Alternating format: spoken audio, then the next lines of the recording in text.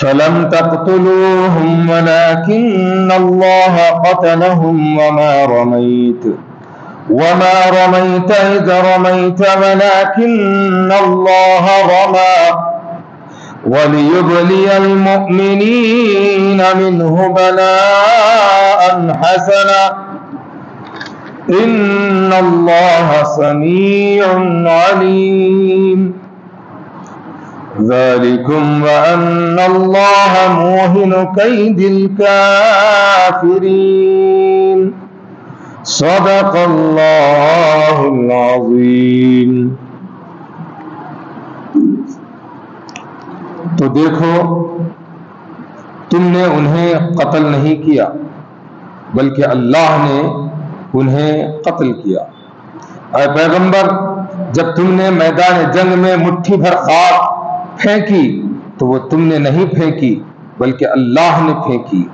इससे यह गर्ज थी कि मोमिनों को अपने एहसानों से अच्छी तरह आजमाए। बिलाशुबा अल्लाह सुनने वाला और जानने वाला है। एक बात यह है, और दूसरी ये कि अल्लाह काफिरों की तदबीरों को कमज़ोर करने वाला है।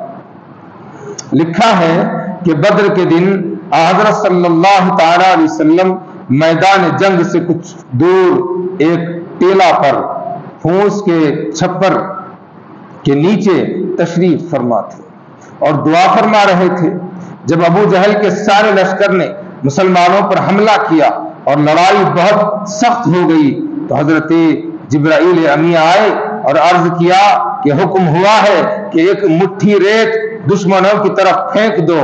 चुनाचे आप सल्लल्लाहु अलैहि वसल्लम ने एक मुट्ठी रेत दुश्मनों की लश्कर की तरफ़ फेंकी और ज़ुबान से तीन मरतबा कहा, शाहतिल वजूह, यानी दुश्मनों के चेहरे बिगड़ जाए। लिखा है कि अल्लाह ताला की कुदरत से अबू जहल के लश्कर वालों की आँखों में खाक पड़ गई। वो कमज़ोर हो गए और मगलूब हो गए। अबू जहल, उतबा, वलीद वगैरह बड़े बड़े सत्तर सरदार मारे गए और उतने ही गिरफ़्तार हुए। खुराइश के मुस्लिह लश्कर, बेसरो सामान, तीन सौ तेरह मुसलमानों का फतह पाना। खुरैश के मुसलह लश्कर पर बेसरो सामान, तीन सौ तेरह मुसलमानों का फतह पाना, जंग का ऐसा गैर मामूली वाकया है जिस पर मुश्किल से यकीन आता है। इसलिए इस आयत में वाजह फरमा दिया कि महज अल्लाह ताला की मदद और कुदरत से यह अजीब व गरीब कामयाबी मुसलमानों को नसीब हुई। जब हज़रत सल्लल्लाहु अलैहि वसल्लम ने रेत फेंकी तो आप सल्लल्लाहु अलैहि वसल्लम के हाथ में अल्लाह ताला का हाथ काम कर रहा था। जंग बदर का नतीजा इससे शक्ल में ज़ाहिर करने से मकसूद यह था कि मुसलमान कामयाबी और माल गनीमत की बहुत बड़ी नेमत से सरफराज हो और खुरैश के मकर फरेब का जाल पाश पाश हो जाए। जैसा कि पिछले आयात बेगिनाज से सिलसिला चला हुआ है कि जंग बदर का नक्शा अल्लाह तबारक व ताली पेश फरमा रहा है कि वहाँ पर क्या क्या वाकयात रूनुमा हुए कैसे कैसे मंजर वहाँ पर सामने आए और जब जंग का नक्शा जम गया और जंग शुरू होने ही वाली थी, ऐसी सूरत हाल में आखाल सलात व तस्लीम। पर फ़िक्र राहत हुई कि हम तो तीन सौ तेरह है, मगर सामने हज़ार से ज़्यादा लश्कर है। यहाँ पर कामयाबी पाना बहुत मुश्किल है। कैसे जीत पाएँगे? कैसे फतह कामरानी नसीब होगी? ना ढंग से हथियार है, ना तलवार है, ना ना कि किसी तरह का, जो है जंगी असला है, ना कोई सरो सामान है, कुछ नहीं है। तो क्या होगा कि बड़ी मुश्किल से चार छह आपके जो है, तलवारें निकल जाएँगी। दो चार बरसे निकल जाएँगे। इससे क्या जंग जीती जा सकती है? छह घोड़ों से जंग जीती जा सकती है। ये नामुमकिन सी बात है। क्या करेंगे? तो रब तबारक ताला की बारगाह में रात भर दुआ करते रहे। सुबह हुई तो तब भी आपकी दुआ हर थोड़ी थोड़ी देर को रब की बारगाह में हाथ उठाते जाते हैं, दुआ करते जाते हैं। मौला पाक तो अपना वादा पूरा फरमा। मौला पाक, तेरे कलमा पढ़ने वालों की मदद फरमा। मौला पाक तो पाक है अपने पाक बंदों के लिए, अपने मोमिन बंदों के लिए, तेरे अपने मानने वालों के लिए मौला रहम फरमा। गैर से मदद फरमा बाद वक्त तजर्र आयशा, जारी एक तरह का जो है, आप सल्लल्लाहु वसल्लम से थर्रा जाते थे कि आपके दोष मुबारक से कंबल ज़मीन पर गिर जाते। ऐसा कई मरतबा हुआ। आप सल्लल्लाहु अलैहि वसल्लम बारगाह रब्बुल इज़्ज़त में दुआ करते जा रहे हैं, दुआ करते जा रहे हैं, दुआ करते जा रहे हैं। तो रिवायतों में आता है कि उसी असना में हज़रत जबराइल अमी हाजिर होते हैं। तफसीर मजहरी में लिखा, हज़रत जबराइल हमें हाजिर होते हैं, हाजिर होकर अर्ज़ करते हैं आका दो जहाँ सल्लल्लाहु अलैहि वसल्लम आप तरफ़ बात सलाम के फरमाता है। आपने कहा रब की बारगाह में कि मौला, तेरा कलमा पढ़ने वाले ये मुट्ठी भर लोग हैं जो तेरा कलमा पढ़ते हैं, तेरी वहदानियत को मानते हैं, तुझे रब जानते हैं, ये किसी और को रब नहीं मानते, किसी और को खुदा नहीं मानते, किसी और को तेरा दर्जा नहीं देते, तेरी जात में किसी को शरीक नहीं करते, ये मुट्ठी भर लोग हैं मौला, इनकी कामयाबी कैसे होगी? बस तेरे रहम की, तेरे कर्म की, तेरे खुदरत की, तेरी मदद की ज़रूरत है। तो हज़रत जब्राइल में आते हैं, आकर के अर्ज़ करते हैं। आप तरफ़ फरमाता है, आपने कहा कि मुट्ठी भर लोग हैं। या रसूल अल्लाह आपका रब हुक्म देता है कि आप ज़मीन से मुट्ठी भर खाक उठाइए, मुश्त भर खाक खाक उठाइए। उसी खाक को कुफारों पर फेंक दीजिए। फिर देखिए कि खुदा की कुदरत क्या काम करती है।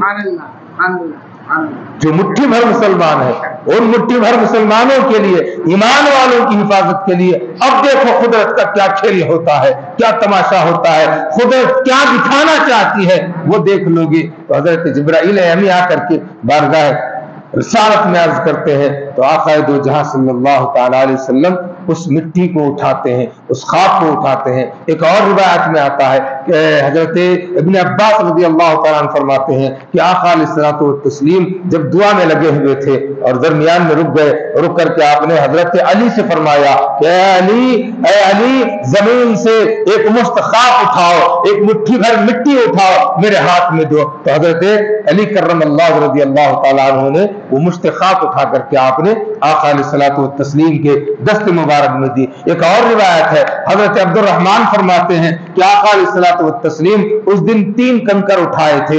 एक कंकर को आपने सामने फेंका, दो कंकर को जो है एक लेफ़्ट में, एक राइट में, सीधे जानिब, दाएँ जानिब, यानी कि जो है जहाँ पर सामने दुश्मन है, दुश्मनों की तरफ़ एक सीधे फेंका, दो आजू बाजू फेंका। तो ये रिवायत भी है। बहरहाल रिवायतें जो भी हो, क्या था हुक्म? यही था कि जो जाओ इब्राहिम, जाकर के मेरे महबूब से कहो कि वो मुश्त भर खाक उठाए, मुट्ठी भर मिट्टी उठाए और कुफारों की तरफ़ डाल दे। जब डालने की बात आई तो आका तस्लीम की ज़ुबान अथर पर यह दुआ थी, अल्लाहुम्मा शाहतिल वजो शाहतिल वजो शाहतिल वजो आपने दुआ पढ़ते हुए काफिरों की तरफ़ मिट्टी फेंकी। एक हज़ार से जायद लोग। जरा सोचिए कि एक हज़ार लोग एक तरफ़ है तो ये ज़रूरी नहीं है कि हज़ार लोगों का मुँह हमारे तरफ़ हो। एक ही वक्त में सब लोग हमारी तरफ़ ही देखें। एट ए टाइम हमारी तरफ़ सबकी नज़र हो कि मा, माजरा हो गया हो।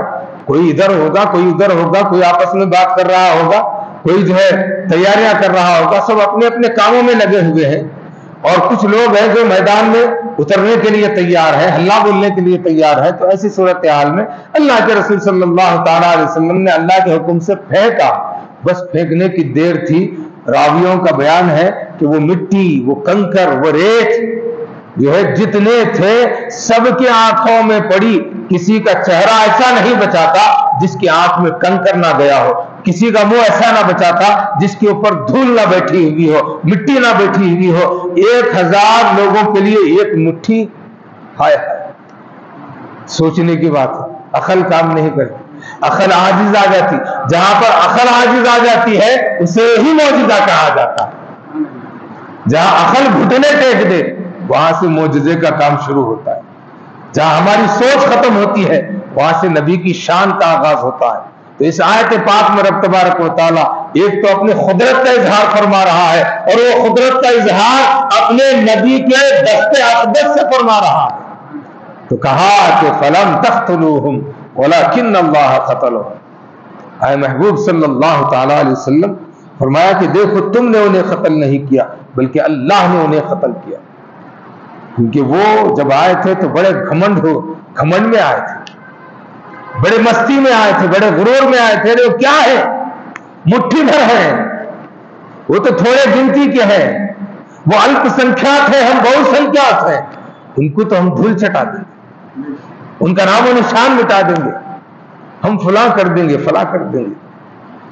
ऐसा घमंड, ऐसा जो ऐसी मस्ती, ऐसा गुरूर था, वो गुरूर के साथ, घमंड के साथ वो कुछ मुट्ठी भर मुसलमानों को देखते थे भी, हकारत के नज़र से। क्या है तुम्हारी औकात?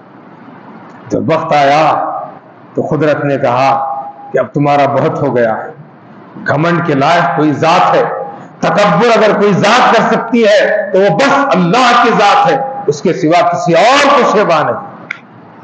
और जो भी गुरूर करता है, घमंड करता है मन तकबर अल्लाह।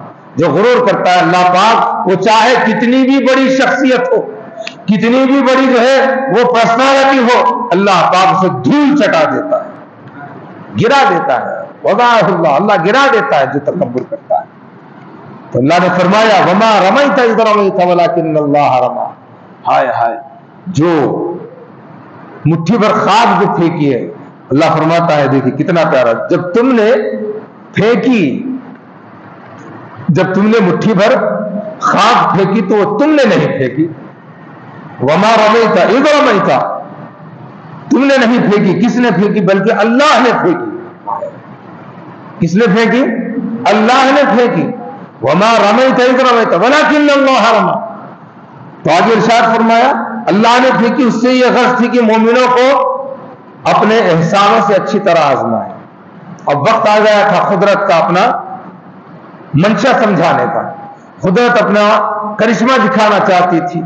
और करिश्मा दिखाने के लिए और दस्त अकदस कबूल फरमाया आका तस्लीम का। और आका तस्लीम के दस्त अकदस से कंकर जा रहे हैं, मिट्टी जा रही है तो उस मिट्टी के फेंकने को अल्लाह कह रहा है कि तुमने नहीं फेंका, हमने फेंका। ये वो मनसब है कि बंदा बाज वक्त अल्लाह के तकर्रब में उस मकाम पर पहुँचता है, जहाँ पर तजल्ली खुदा होती है वहाँ पर एक बंदा पहुँच जाता है। जब बंदा खुदा के खुरबत में उस मकाम पर पहुँचता है तो फकुल तो समादी यसमाओ भी वो बसरादी युबसर भी। जब बंदा मेरा हो जाता है तो मैं उसके कान हो जाता हूँ, जिससे वो सुनता है, मैं उसकी आँख हो जाता हूँ, जिससे वो देखता है, मैं उसके हाथ हो जाता हूँ, जिससे वो पकड़ता है। उस मकाम तकर्रब में अल्लाह के रसूल सल्लल्लाहु अलैहि वसल्लम पहुँच गए। जैसा कि हज़रत ईसा तस्लीम एक मिसाल देकर के मैं अपनी बात को खत्म करूँ, आसानी से समझ में आ जाएगा। हज़रत ईसा तस्लीम कुरान का बयान है।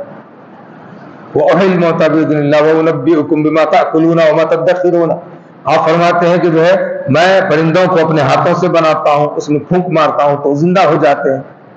मैं फूंक मारता हूँ तो ज़िंदा हो जाते हैं। तो हज़रत ईसा तस्लीम फूंक मारने से क्या खुदा हो गए नहीं, बल्कि खुदा की सिफत अहिया हज़रत ईसा सलात तस्लीम के साथ हो गई।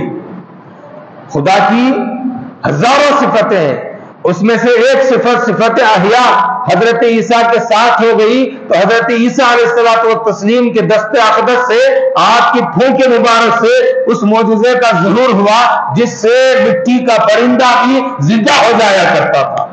ऐसे ही रब तबारक वाली मैदान बदर में अपने महबूब सल्लल्लाहु अलैहि वसल्लम के साथ अपनी सिफत खुदरत के साथ हुआ तो आपके दस्ते अकदस में अपनी खुदरत को ऐसे शामिल किया कि जब वो फेंके तो दस्त मोहम्मद का था खुदरत खुदा की थी खुदा के पावर से जब वो कल कर गए तो जहाँ जहाँ दुश्मन थे उसके आँखों तक पहुँचना उनकी ज़िम्मेदारी हो गई।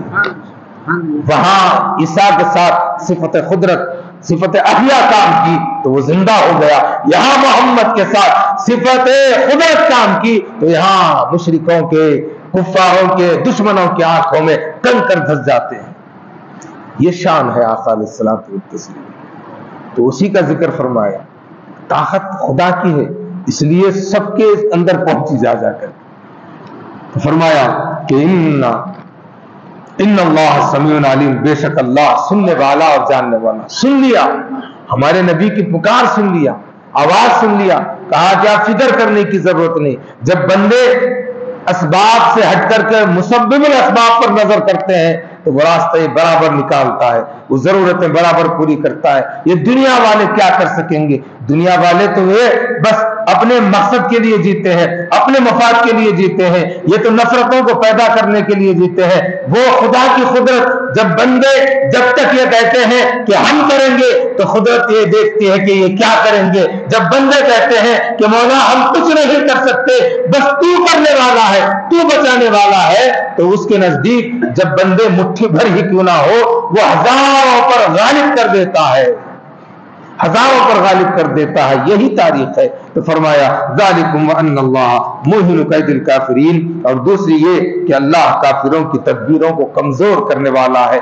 देखने में जाहिरन ऐसा मालूम होता है कि ये सब कर गुजर जाएँगे, ये नुकसान पहुँचा करके रहेंगे, ये बर्बाद कर करके रहेंगे। अब कुछ नहीं बचने वाला, तस्वुर ये होता है, मगर अल्लाह फरमाता है कि हम उनके तदबीरों को, उनके मकर को, उनके मकर के जाल को पाश पाश कर देते हैं, उनके तदबीरों को कमज़ोर कर देते हैं। वो हज़ार तदबीरें बनाए, मगर मेरे मानने वाले जब तक मुझ पर भरोसा करेंगे, मैं उनके भरोसों को तोड़ूँगा नहीं, मैं उनके भरोसों को बचाऊँगा और उन्हें भी बचा करके दुनिया में बताऊँगा। बस जो मेरे हैं, वो बाकी रहेंगे, चाहे वो ज़मीन पर रहे या ज़मीन में रहे, और बकिया सब खत्म हो जाएँगे। इसलिए कि हर शय फानी होने, फा, फना होने वाली है और फना होकर के रहेगी। अल्लाह तबारक वाली से दुआ है। अल्लाह तबारक वाली हमारे कहने सुनने से ज़्यादा अमल करने की तोफ़ी अता फरमाए।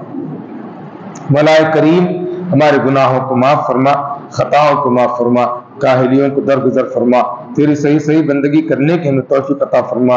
मौला पाक हबीब दो जहाँ सल्लल्लाहु अलैहि वसल्लम की सच्ची मोहब्बत हमारे दिलों में डाल दे, हमारे दिलों को तेरे महबूब सल्लल्लाहु अलैहि वसल्लम की मोहब्बत का मदीना बना दे, हमें ज़िंदा रख तो ईमान पर रख। खातिमा फरमा तो ईमान पर फरमा। वाखिर दावाना रब्बिल आलमीन।